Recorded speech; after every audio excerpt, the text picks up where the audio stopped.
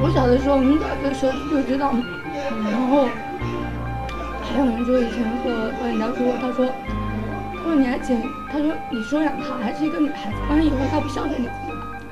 那个时候我才五岁，我在门口听他们在讲，然后我就在那里哭，但是我没说什么。后来那个时候，我想我心里就很怨恨我的生父母，说。啊，为什么要把我抛弃？就说如果你不要我，你就不要养我。眼前这个哭着讲述自己身世的女孩叫赵丽颖。小颖今年高考如愿以偿地考上了一所名牌大学，她是村里的第一个大学生。这原本是高兴的事，为何小颖哭得这么伤心呢？这一切都要从她的身世说起。原来小颖不是赵志国的亲生女儿，当年赵家夫妇婚后一直没有小孩，就想领养一个孩子，在亲戚的介绍下抱养了小颖。这些年，赵家夫妇带小颖视如己出，但他们万万没有想到，在高考结束后，女儿就很少回来了。赵志国四处打听女儿的下落，从亲戚那里得知，小颖偷偷的和亲生父母相认了。这些天，她一直住在城里亲生父母家里。得知这个情况后，赵志国心如刀绞。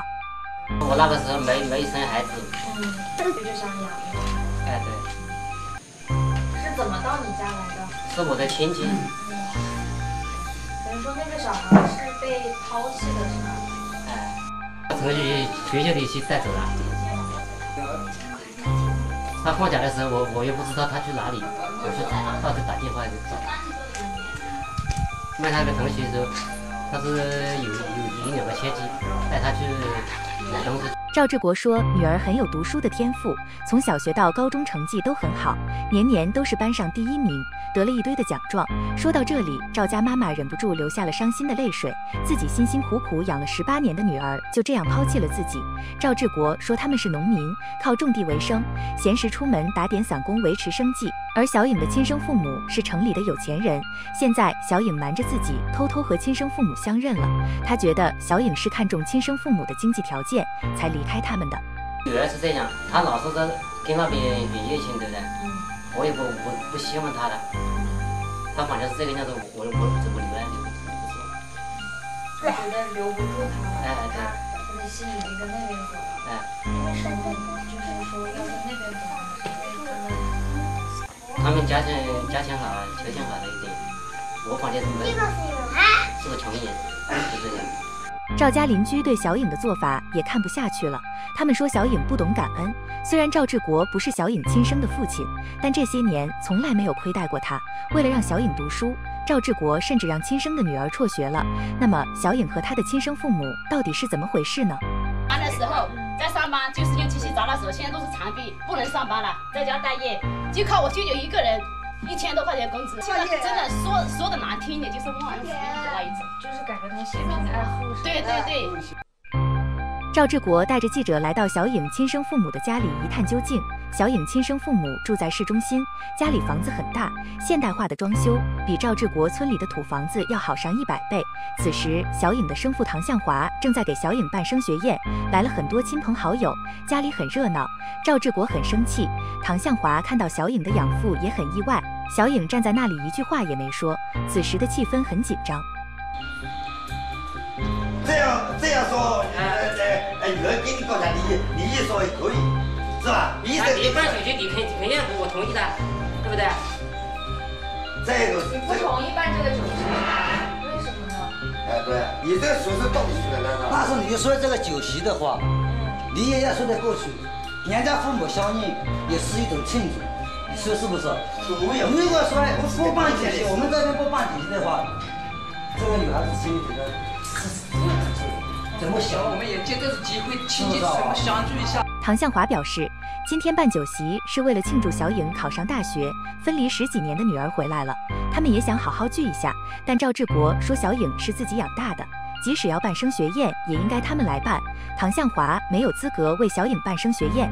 这是我的女儿姓王，对不对？嗯。他到底是谢谢农？姓姓不重要啊，这个问题说，我既然我们父是。父母团聚了，我也比他要多谢一点？那他您您是姓王是吧？哎，那您以后还是姓王是吧？名字不会改，你也不会让他改。不是不要他，我绝对不允许他改，他自己想改都不愿意。赵志国认为唐向华这样做就是想抢走小颖，自从小颖回到亲生父母身边后，就很少回赵家了，还要转户口。赵志国觉得小颖的这一系列的行为，都是因为看到亲生父母家比自己经济条件好，他想抛弃贫穷的赵家。这些年对小颖的养育之恩，他都忘记了，简直就是个白眼狼。小颖解释说，并不是要把户口转到唐家，是要上大学，户籍要跟着学籍走。此时的赵志国根本听不进小颖的话，他觉得既然小颖偷偷的认亲生父母了，那就是想和他们断绝关系。那唐家怎么说也要把这些年的抚养费给他。那本身那读上十八年，也享过社保，对不对？考了大学，他全家来来管，对不对？就是他的意思就是要补偿这个。这个不，这个是不团结想补偿补偿。这个小孩谁是我生的？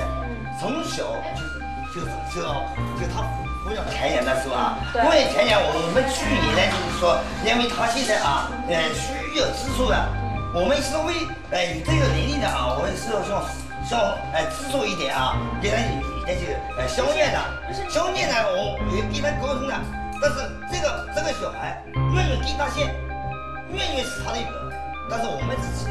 唐向华解释说，他们从来没有让小颖和赵家断绝关系。小颖考上了大学，他们是想帮孩子庆祝下。唐家供小颖上大学，也不是要抢走她，只是想用这种方式表达对小影的关爱。但赵志国不信他们的话，生气的离开了。小影追到楼下，想要挽留赵志国。他知道养父从老家过来，到现在也没能吃上饭，想留养父一起吃庆祝宴。但赵志国心里充满了对小影和他亲生父母的怨恨，怎么都不同意留下吃饭。不要这么留你。因为我是说实在话，我我我也走了，不会在这里吃饭。你不在这里吃？哎哎。你劝一下你爸爸。那个媳妇啊，你还是希望你爸爸能能留下来陪你一起谈。赵志国倔强地离开了。记者找到小颖的亲生父亲，想要了解当年为什么要把小颖送出去。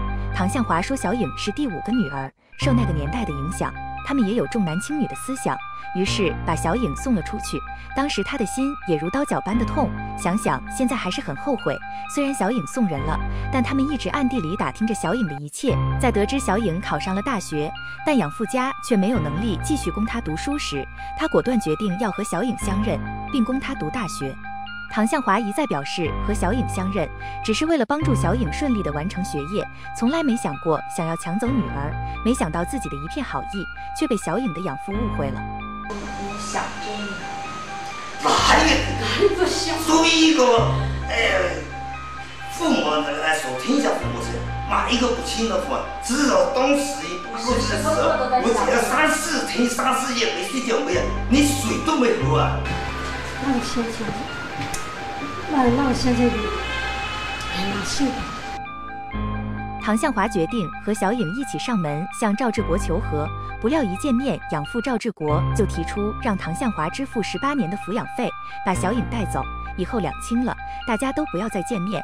这些话让唐向华有些意外，一时间不知如何是好。女儿小颖解释说，亲生父亲唐向华之前给养父打过电话，说要给赵家补偿，但唐向华说的补偿，并不是说用钱买断这些年赵家对小颖的养育之恩，只是想在经济上给赵家一些帮助。毕竟之前为了供养小颖，赵家把家底都掏空了。所以你打电话那件事也是跟我说一说。不是说这个他，他那人家不是说那个补偿十八年？你是不是意思就是说他补偿十八年，然后这个女儿就给他了？对呀。那怎么能这样呢？你他妈妈小孩，然后就他说还要我开个价。他说的说这个话呢，是说签就是十八年签约的爱嘛，就是以后呃这个话你晓得晓得？这个呀，你你跟小孩子。打电话打电话的这个话你就骂小孩，不是这样骂。他都说的补偿就是补偿他这么多年来对小孩的亏欠，没对小孩的爱太多亏欠了。养父赵志国对这个说法不认同，他说赵家经济情况唐向华一直都知道，在小颖小的时候得到一场大病，那时候因为没钱给小颖治病，小颖差点没命了。那个时候唐向华怎么没来认亲，偏偏在女儿刚考上大学的时候出现了。这分明就是看着孩子成才了，以后会有出息，才跑来跟自己抢女儿。那个时候，那种比小文更有实力的弄得走嘞。他是对了个烟了，在咸阳。对我过年。那个时候知道他他对啊，这屋里其实可以知道过来过来小过来看一下，这个时候来看。这个是看我的小眼小颖知道养父其实也是爱自己的，因为太爱自己了，所以害怕失去他。他偷偷和亲生父母相认，有错在先，中间又没能协调好双方关系，才让养父有了这样的想法。但不管小颖和亲生父亲怎么解释，赵志国都不愿原谅他们，他和唐向华只能尴尬的回去了。记者来到小颖亲生父母的家里，想了解小颖的真实想法。小颖向记者说道：“其实他并不是最近才知道自己不是赵志国亲生的，在他读小学的时候，就从村民的闲言碎语里对自己的身世就略知一二了。那时候他。”很恨自己的亲生父母，所以他一直很努力的读书，希望以后能够走出这个小山村。我是被收养的，因为那个时候有人家，嗯，他们都在家，然后我真的，我说有很多小孩了，他会说啊，给孩子，我就说这样。我很小的时候我就知道嘛，然后我还有人说，很多人说你是就是没家的人，就会骂我，有很多话，然后。你是怎么知道这件事情的？村里人都在传，而且。我小的时候我们小的时候就知道，然后还有人就以前和和人家说，他说，他说你还捡，他说你收养她还是一个女孩子，万一以后她不孝顺你。那个时候我才五岁，我在门口听他们在讲，然后我就那里哭，但是我没说什么。后来。那个时候，我想，我心里就很怨恨我的亲生父母，说，啊，为什么要把我抛弃？就是说，如果你不要我，你就不要养我嘛。然后我再加上人家说，就是他们生好几个嘛，就说，嗯，只为了一个男孩子嘛。然后说我是第第第六个，那个时候他们说，生了七个，然后我是第六个，把我扔，把我扔了，就是不要我嘛，就为了一个男孩子。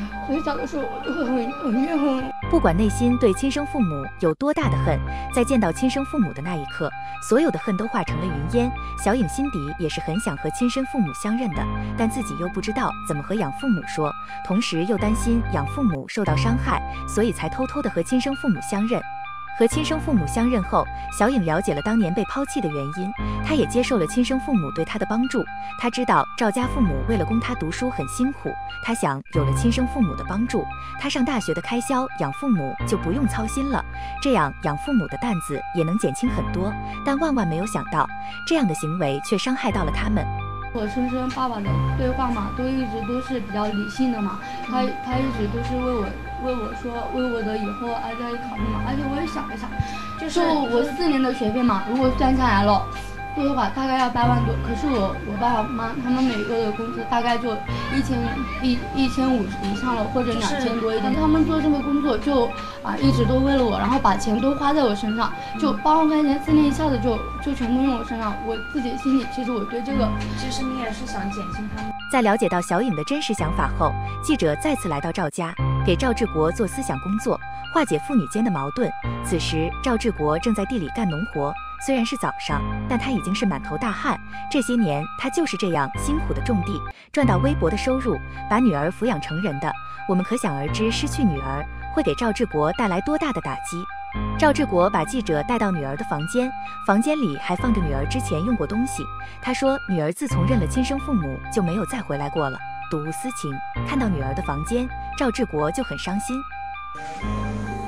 我这个女儿，我带了十九年了吧。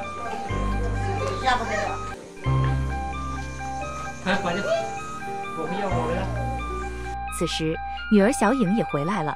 当着养父母的面，记者问小颖，当时和亲生父母相认是怎么想的？小颖说出了自己的真实想法。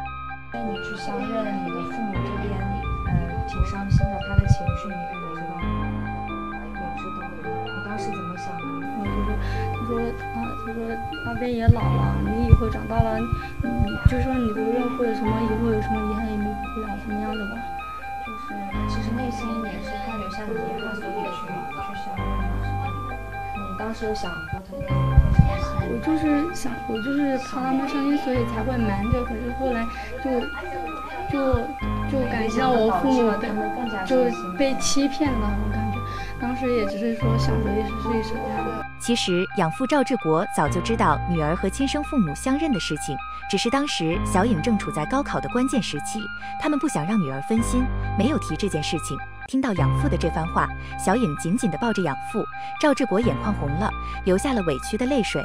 说他对他的上学的也不好，对不对？他的压力很大噻。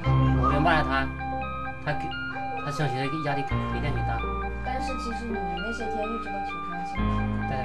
一一伤心也不跟他说，对，就是默默的憋在心里。小颖知道赵家父母很爱自己，说要断绝关系也只是气话。